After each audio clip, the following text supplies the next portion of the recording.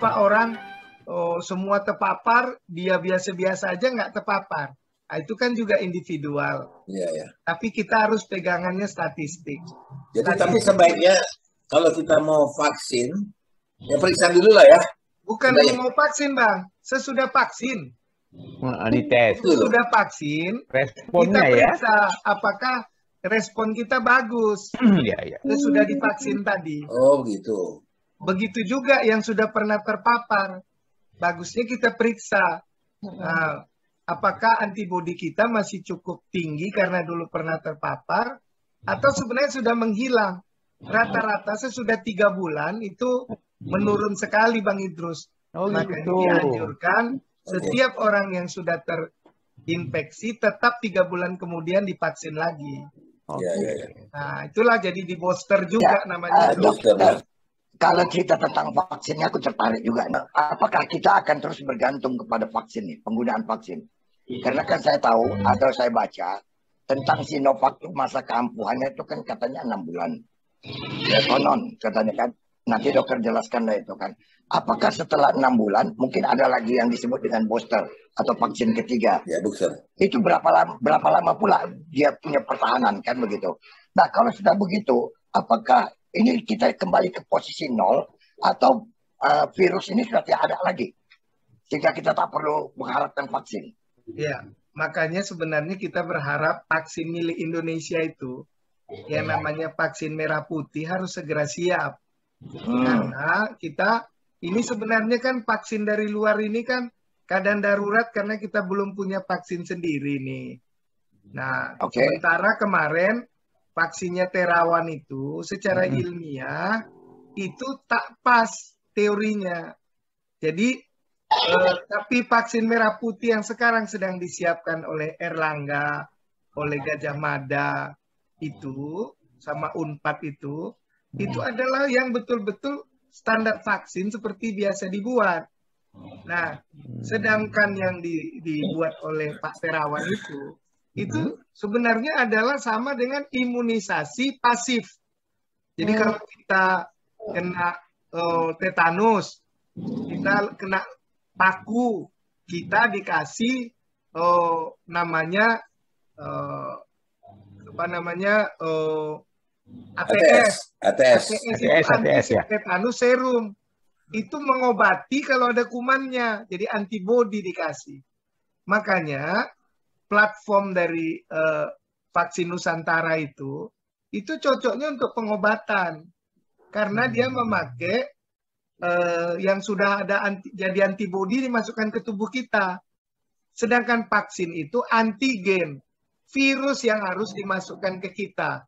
Apakah virus itu dilemahkan atau dimatikan? Nah, itulah namanya vaksin. Ya, ya, ya, ya. Nah, vaksin merah putih yang sedang kita siapkan sekarang paling cepat itu 2022 baru sampai tahap akhir risetnya. Maka kita harus kejar sekarang dengan vaksin yang ada dulu. Nah, tapi tak boleh berhenti. Harus terus riset itu. Mana tahu ber, Iya, bertahun-tahun ini selesai pandemi. betul. Iya, Soalnya iya, begitu iya. vaksinnya berkembang, virus yang mutan berkembang juga. Nah, jadi jadi itu makanya kalau kita dorong. Nah, sekarang soal eh, mutasi ya. Nah, saya terus terang Ibu Fadila itu kan ahli jantung, bukan ahli imunologi. Kalau dia bicara tentang vaksin agak kurang pas sebenarnya.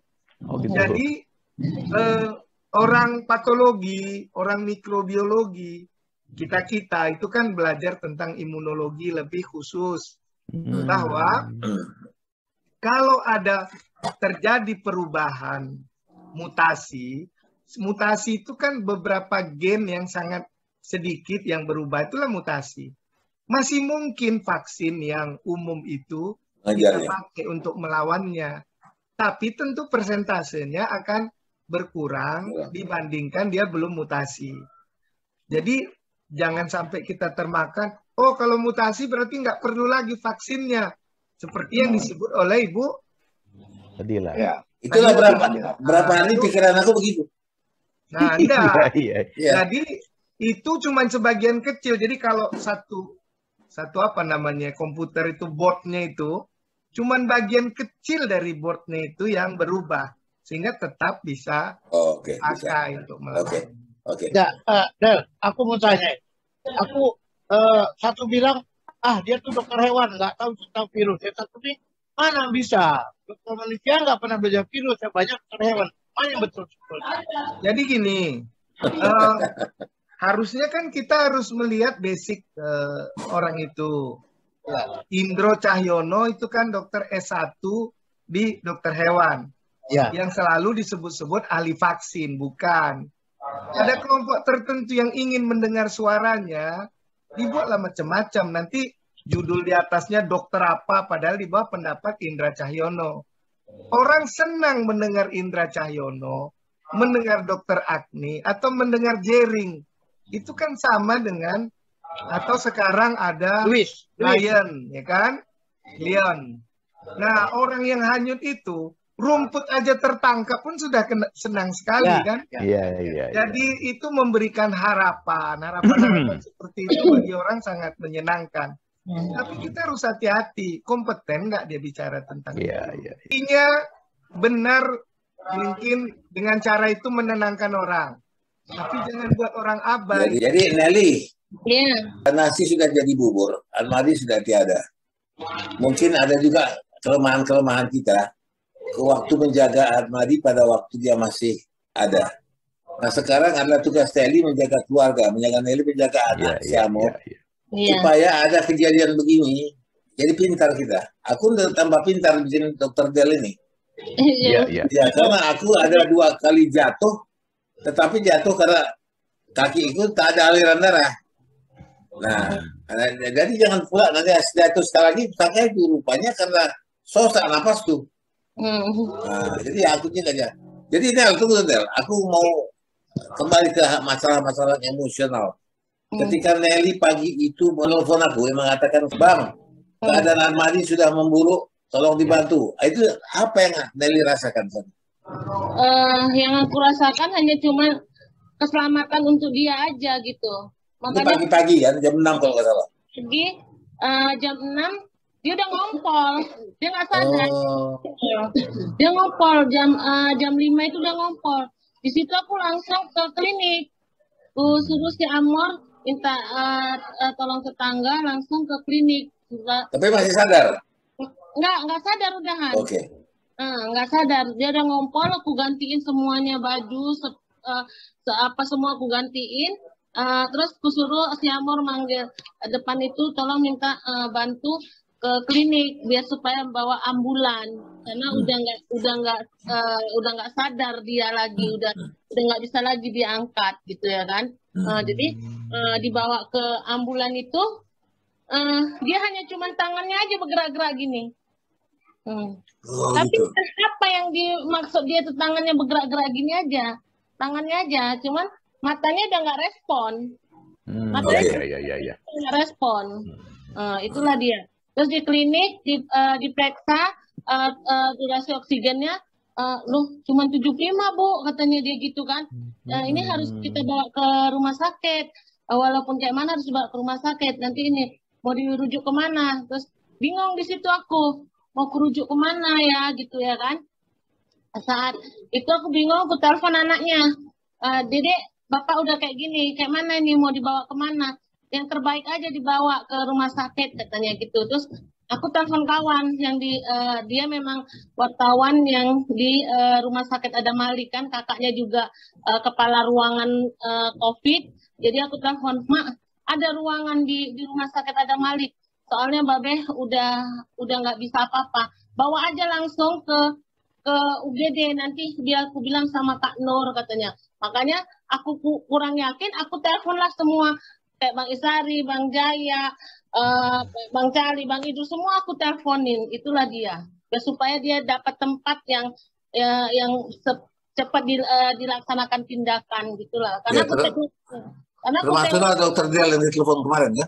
Betul. Oh, ya. Dan sama dokter Abidin yang kita telepon juga Ah, ah. dari Ja- Jakarta. Eh, berkat berkat dokter eh, Abidin, dokter Del, akhirnya eh, dia dapatlah tempat di rumah sakit Adam Malik itu. nah, sekarang begini.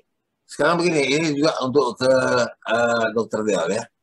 Ahmadi terakhir dikabarkan oleh Nelly dari 75 Jadi naik 98. Eh, 9 berapa terakhir? 98. 98. 98. Nah setelah 98, nah ini proses yang cerita yang hilang dari kami. Nah tiba-tiba Nelly telepon lagi, Bang, dia sedang dipompa jantungnya. Nah Iya. sebelum itu terjadi kenapa? Tersedak dia, tersedak. Dia tersedak. Udah sadar? Eh, eh, nggak nggak tahu kata kata eh, perawat dia tersedak ibu cepat eh, cepat datang katanya dia gitu Eh, ibu cepat datang eh, bapak tersedak katanya dia gitu aku bilang sadar enggak pokoknya ini lagi durasinya nurun lagi kata dia gitu Nah, Hmm. Jadi eh, durasinya itu nurun lagi dia tersedak sesampainya di sana eh, ak- eh, anaknya dulu yang nyampe eh, teken mau dilakukan pemompaan jantung Oke, oke, oke. Macam mana itu prosesnya? Lihat uh, video enggak? Enggak, enggak, enggak lihat video. Eh, anaknya enggak, enggak mau, enggak mau bilang. Kalau seandainya dia bilang kan, saya bilang, eh, saya telepon perawatnya itu saya suruh eh, nengok videonya gitu. Oke, oke. Jadi kenapa begitu, deh, Dokter Del? Jadi, jadi begini. Kenapa ada seperti gagal jantung jadinya?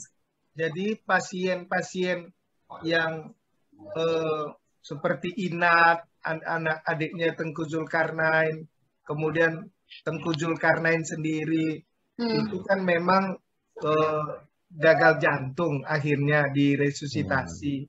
Kita perlu paham bahwa kalau di paru-paru itu kan banyak lendir itu kalau Hmm. pada proses yang berat.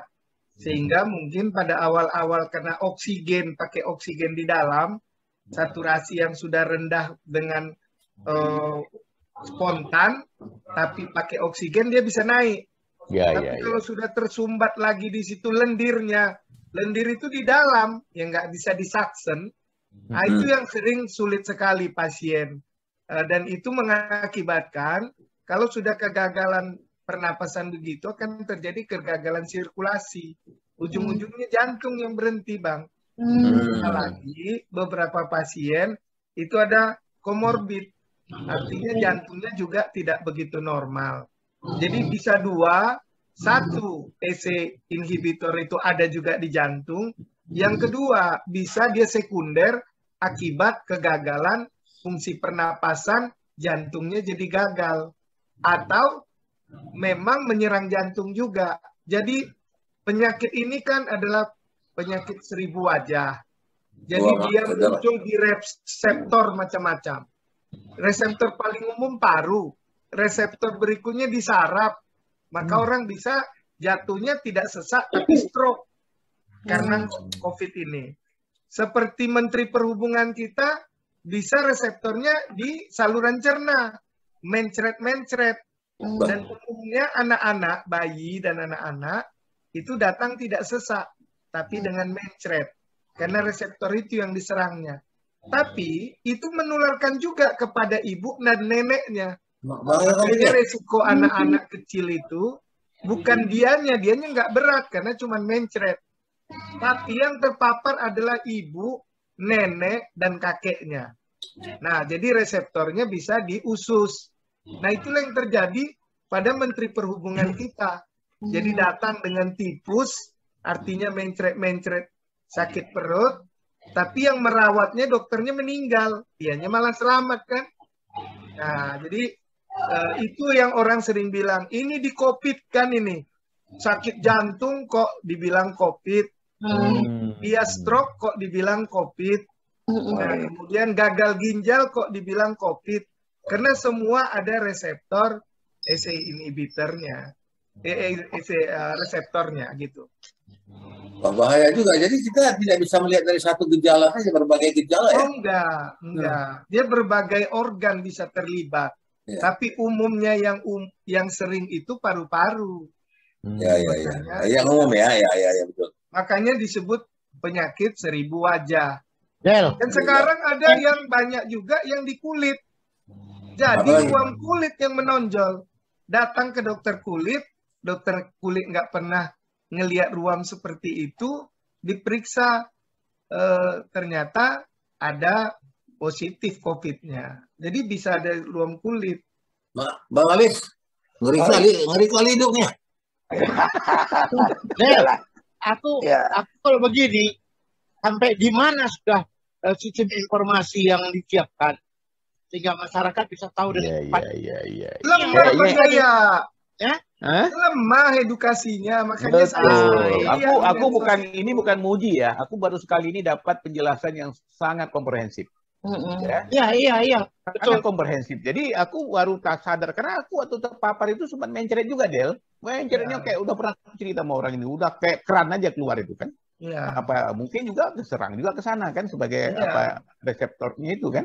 Tunggu, eh, Del, kelemahannya itu bagaimana? Sehingga mudah-mudahan kita bisa membincangkan, mudah-mudahan ada perbaikan. Harus kita bangun sistem edukasi itu. Ya macam tadi ya, sorry, aku potong sedikit. Tadi kalian menyiapkan di kami ada orang yang mengasistensi atau mengawani orang isoman. Nah, ini kan jangan hanya bergantung pada mereka, kasih tahu kepada keluarga. Jadi keluarga bisa mendampingi. Ya. Nah, ketika anakku tempoh hari isoman, aku juga bingung apa yang mesti kulakukan. Nah, jadi Nggak ada bang pendampingan itu. Jadi Nah, itu yang masalah. itu yang harus ditularkan ke masyarakat, mungkin lewat media ini, bahwa orang harus tahu jika ada anggota keluarga kamu yang terisoman, Anda harus melakukan ini, ini, ini, ini, ABCD. Gitu. Ya. Nah, itu itu bisa membantu. Itu yang tak ada bang. Makanya kita Del, memulai lah. Ya bang. aku tengok aku tengok sistem informasi ini perlu sekali. Karena Ya. tadinya kan kita nggak ngerti apa-apa ini. Ah, Mm-mm. di COVID kan, ah dokter yang salah. Iya. Ada betul, itu kan. betul. Tapi sebenarnya kalau melihat istilah penyakit seribu wajah ini, ini memang kita harus bangun istilahnya buku-buku saku lah. Ya. Atau ditempelkan di mana-mana. Iya. Atau acara di TV. Ini yang sampai sampaikan. Dan siapa Ya. sudah yang merangkum ini? Jadi satu sistem informasi. Ada nggak yang merangkumnya ya? Iya, harusnya harusnya kominfo. masyarakat. Ya. Harusnya kominfo ini. Ya, kominfo kan Iyalah. ya, Ya udahlah. Karena kita Me- Media aja lah si Oh, Nelly pasti punya intip news. Jadi Nah, kita kalau kalian nggak bisa media lah. Nah, kita ma- bisa ditaruh di Intip News. nah, aku juga sudah bicara sama Tuan Hajar Said. Waspada siap bantu apa saja berita. Nah, sebentar. Ri, ada aku mau tuntaskan bersama Dr. Del nih. Ya. Dokter, tadi kita kan sudah bicara atau membahas tentang orang yang sudah terdampak, sudah terkena. Ya kan sekarang kan kalau tadi kita mau bicara tentang pencegahan, eh, mungkin secara umum dok- dokter akan mengatakan tetap menjaga prokes, prokes, prokes. Tapi kan selain dari prokes itu kan ada barangkali yang yang sesuatu yang bisa kita mencegah paling tidak ke keluarga kita dulu atau satu rumah dulu gitu, dokter. Ya. Ada nggak yang kira-kira Yang apa? pertama bang,